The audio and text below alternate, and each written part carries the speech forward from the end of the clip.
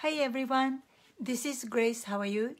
You know, we would live up to age 100 and we will be working until age 80. So let's redesign your life. Today, I'd like to talk about skin cosmetics foundation because as we age, it's a personal preference, but I believe you should still look beautiful. You know, you don't have to look like an old lady with many wrinkles. If you like it, that's fine with me, but I don't want to be like that.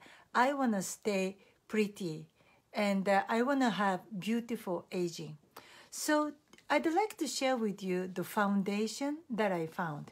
In the past, I've been using MAC, the liquid foundation, but in Japan, the all of the professional you know makeup artists, especially the art makeup artists for you know magazine and the you know photograph taking, they use this brand.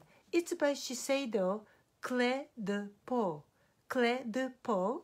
It's a French word. It stands key of skin, I think. Key of skin. And it is by Shiseido, the Japanese cosmetic brand.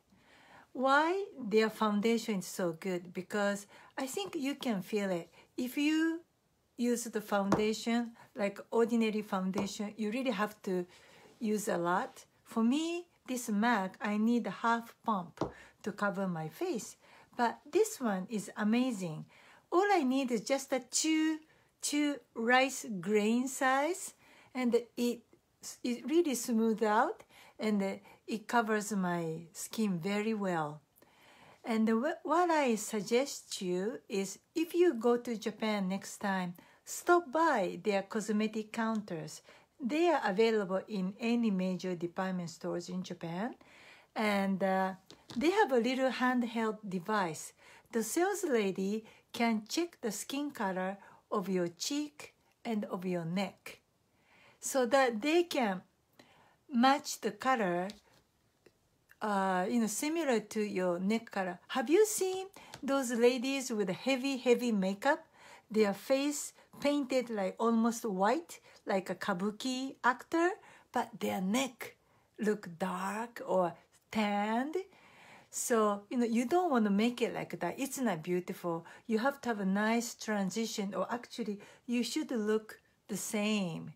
So that's why I believe they come up with a, such a nice device to check the color of your cheek, cheek and your neck. And luckily, when they check my colors, my face and the neck color happen to be almost the same. So they were recommending me either I can go for number 10, which is the lighter fair color, or number 20, which is average.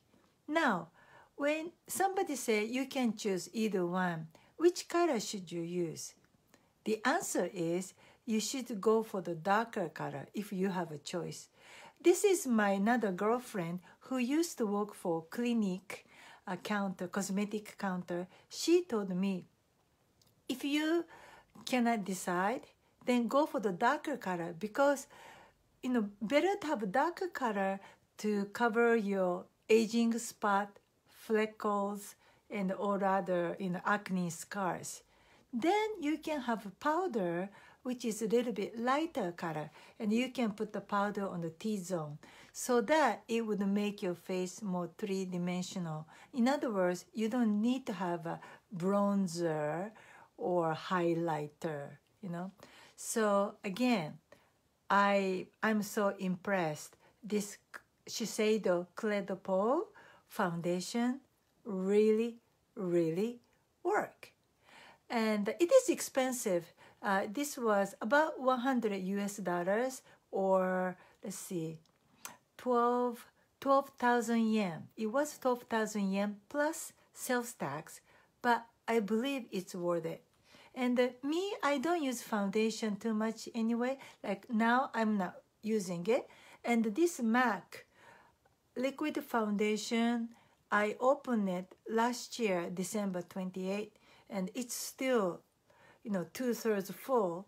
So I'm confident this, you know, Shiseido Peau foundation, even though it's pricey, it should last me one year too. Okay, that's all for today. I'll see you tomorrow. Bye bye.